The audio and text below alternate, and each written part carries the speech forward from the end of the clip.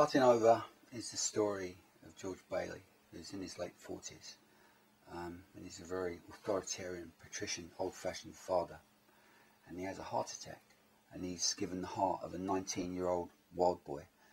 And it turns George into a 19-year-old wild boy. And that's basically the premise of the book.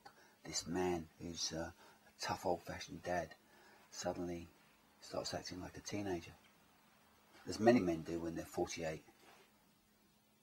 The story, um, story behind the novel is how many chances do we have to reinvent our life? Really, that's the underlying theme. Um, that at first he's very happy that um, you know he's got this uh, new persona and uh, he's got a different outlook on the world and he's a friend to his children. I think we all dream of starting over. I think we all dream of uh, beginning again. And in George's case, it's very um, radical and very extreme. I think it's in um, the back of our mind constantly this idea of um, having another go at getting it right. I don't think past generations really thought like that. You know, I think um, they realised you went round just the once.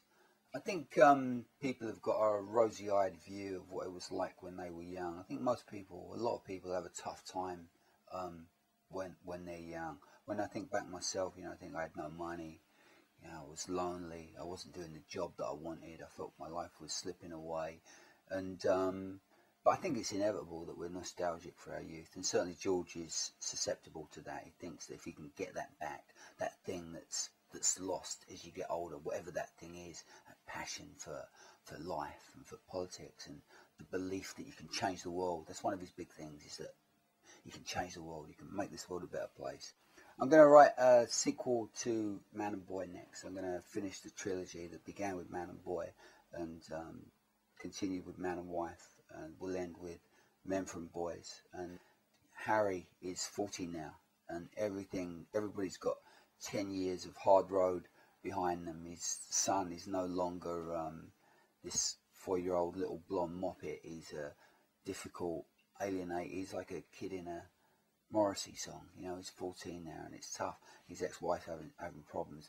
Everything's different. So it'd be good to revisit those characters and see how they're getting on because they do have a life of their own. You know, if they're good enough and they're well-rounded enough and they're believable enough, then they do have a certain momentum. And you know, any story that you like at the end of it, you think, you know, I wonder what happens next. And so, Men from Boys will be what happened next.